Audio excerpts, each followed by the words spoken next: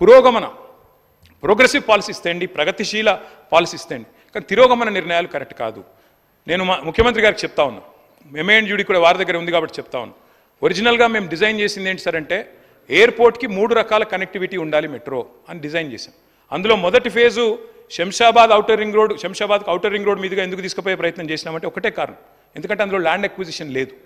ఏమైందంటే రాజశేఖర రెడ్డి గారి ప్రభుత్వంలో ఓఆర్ఆర్ ప్లాన్ చేసినప్పుడు గౌరవనీయులు జైపాల్ రెడ్డి గారు అర్బన్ డెవలప్మెంట్ మినిస్టర్.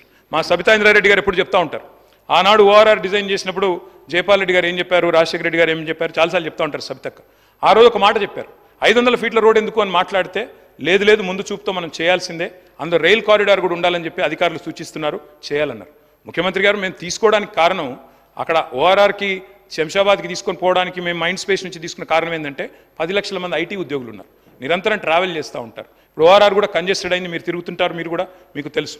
నా రిక్వెస్ట్ ఏమంటే అధ్యక్ష మేము మూడు రకాల మార్గాలు డిజైన్ చేశాం. ఒకటి మైండ్ స్పేస్ నుంచి శంషాబాద్ దాకా. రెండవది ఫలక్ నుమా మీదుగా డైరెక్ట్గా ఎయిర్పోర్ట్కి. ఈరోజు వారు ఏదైతే పీ సెవెన్ రోడ్ అంటున్నారో దాని మీదుగా.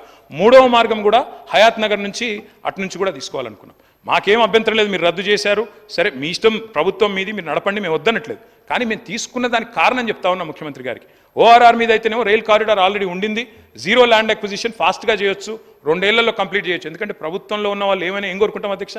ప్రజలతో శభాష్ అనిపించుకోవాలని కోరుకుంటాం. మేము కూడా అట్లే అనుకున్నాం. తొందర తొందరగా పూర్తి చేసి ప్రజలతో శభాష్ అనిపించుకోవాలి.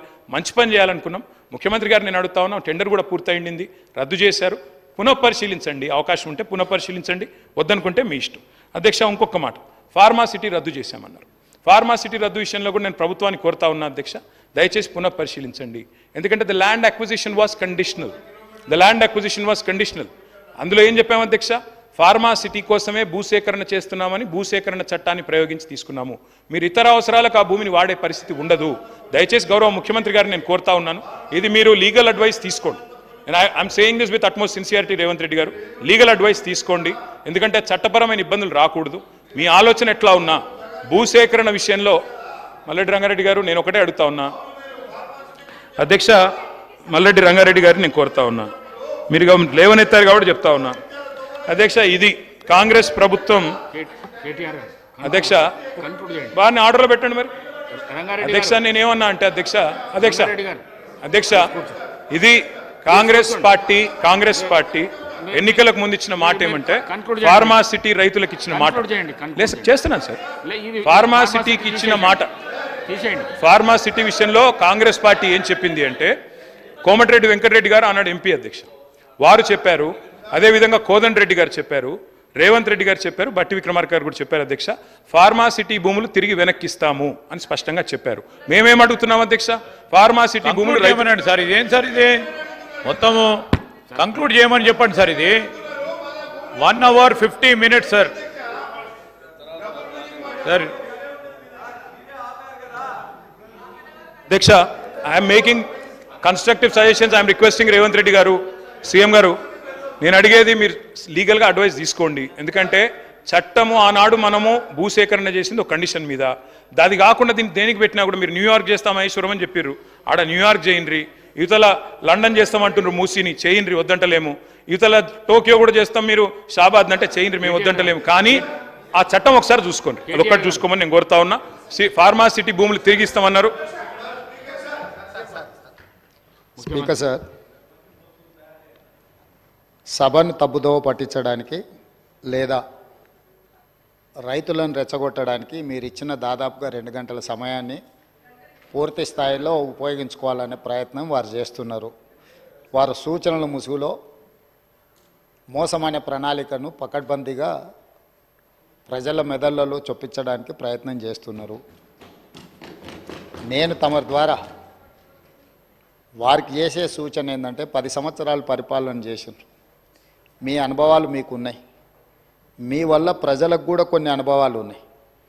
ఆ ప్రజల అనుభవాల మేరకే ప్రజలు ఒక తీర్పు ఇచ్చిండ్రు. పది సంవత్సరాలు ఏలిన మీరు పది నెలలు కూడా పూర్తి చేసుకొని ప్రభుత్వం మీద కొన్ని వందల ఆరోపణలు చేస్తున్నారు. నాకేం అభ్యంతరం లేదు. అది మీ విజ్ఞత మీ అవగాహన. అదేవిధంగా ఈరోజు వారు సిరిసిల్ల చేనేత కార్మికుల గురించి బతుకమ్మ చీరల గురించి వారు గొప్పగా చెప్పిండ్రు నాకేం అభ్యంతరం లేదు. చేనేత కార్మికులకు పని కల్పించడం కోసం ఆనాడు ప్రయత్నం చేసి ఈ పథకాన్ని ప్రవేశపెట్టినమన్నారు. రెండు వేల పదిహేడు పద్దెనిమిదిలో నాకు తెలిసినంత వరకు మొట్టమొదట ఈ చేనేత కార్మికులకు బతుకమ్మ చీరల పథకాన్ని ప్రవేశపెట్టారు నేను సూటిగా వారిని అడుగుతున్న ఒకటే మాట.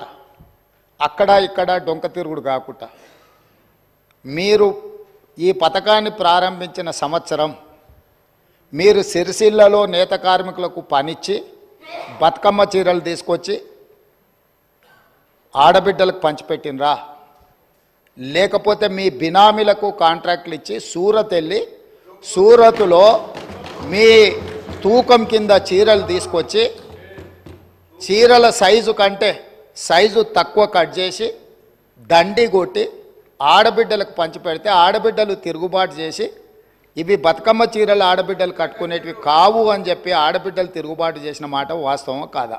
తమరి ద్వారా వారిని నేను ఏం చే- ఏం అడగదలుచుకున్నా అంటే ఒకటే మాట స్ట్రైట్గా సమాధానం. మీరు పథకం ప్రారంభించిన రోజు పేదలకు ఇచ్చిన చీరలు సిరిసిల్ల చేనేత కార్మికులు నేసినయా? సూరత్కెళ్ళి కిలోల కింద తూకంలో కొనుక్కొచ్చి కమిషన్లు కొట్టి పేదలను మోసం చేసిండ్రా లేదా వారు చెప్పాలి. నెంబర్ వన్ అధ్యక్ష.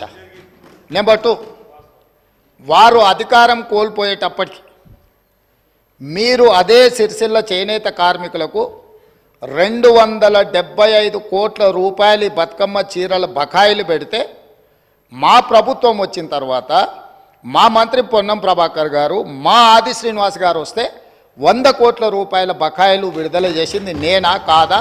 ఓసారి రికార్డులు చూసుకోవాలి అధ్యక్ష. అదేవిధంగా అధ్యక్ష అదేవిధంగా ఎయిర్పోర్ట్కు మెట్రో రైల్ గురించి చాలా విషయాలు వారు మాట్లాడినరు. దాన్ని మళ్ళా ఇంకొక సందర్భంలో నేను వివరంగా నేను చెప్తాను దాని మీద. కానీ వారిని నేను అడిగే ప్రశ్న ఎంఎంటీఎస్ శంషాబాద్ దగ్గర ఉమ్నాబాద్ వరకు ఎంఎంటీఎస్ వచ్చింది. కేంద్ర ప్రభుత్వము ఎంఎంటీఎస్ను ఎయిర్పోర్ట్ లోపలికి అనుమతించండి. ఈ రెండున్నర కిలోమీటర్లు ఎంఎంటీఎస్ని ఎయిర్పోర్ట్లోకి అనుమతిస్తే సామాన్యమైన పేదలకు రవాణా సౌకర్యం ఏర్పడుతుంది. హైదరాబాద్ మహానగరాన్ని నుంచి అంతర్జాతీయ ఎయిర్పోర్ట్కు ఎంఎంటీఎస్ ఏర్పాటు చేస్తామని కేంద్ర ప్రభుత్వం దాదాపుగా ఏడు సంవత్సరాలు రెండున్నర కిలోమీటర్లు భూమి ఆ మెట్రో ఆ ఎంఎంటీఎస్ నిర్మించడానికి అడిగితే మేము ఇవ్వము ఈ పథకమే అక్కర్లేదు అని ఎంఏయుడి మినిస్టర్గా ముఖ్యమంత్రిగా చంద్రశేఖరరావు గారు తారక రామారావు గారు కేంద్ర ప్రభుత్వం అతి తక్కువ ఖర్చుతో అంతర్జాతీయ ఎయిర్పోర్ట్కు ఎంఎంటీఎస్ నిర్మిస్తామంటే వద్దని తిరస్కరించిన మాట వాస్తవమా? కాదా? ఒకవేళ మీరు కాదు అంటే ఆ వివరాలు అన్నీ కూడా తీసుకొచ్చి సభలో పెట్టి సభ ద్వారా తెలంగాణ ప్రజలందరికీ కూడా వారు ఎందుకోసం ఎంఎంటీఎస్ పేదలకు ఉపయోగపడే just two and half kilometres ఉమ్నాబాద్ నుంచి ఎయిర్పోర్ట్ లోపలికి. అనుమతి ఇవ్వకపోవడానికి గల కారణము దీని వెనకాల ఉన్న కుట్ర దీని వెనకాల ఉన్న ఆర్థిక రాజకీయ ప్రయోజనము ఏందనేది కూడా ఈరోజు తెలంగాణ ప్రజలకు తెలవాలి. మూడవది ఈరోజు ముచ్చర్ల దగ్గర భూసేకరణ. భూసేకరణకు సంబంధించి వారికి వారే ఊహించుకుంటుండ్రు వారికి వారే కాయించుకుంటుండ్రు వారికి వారే రెచ్చగొట్టే ప్రయత్నం చేస్తున్నారు వారికి వారే భూసేకరణలో కండిషన్స్ పెట్టినమంటుండ్రు. మళ్ళీ ఇవన్నీ చెప్తూనే మీరు న్యూయార్క్ చేయండి మీరు డల్లా చేయండి.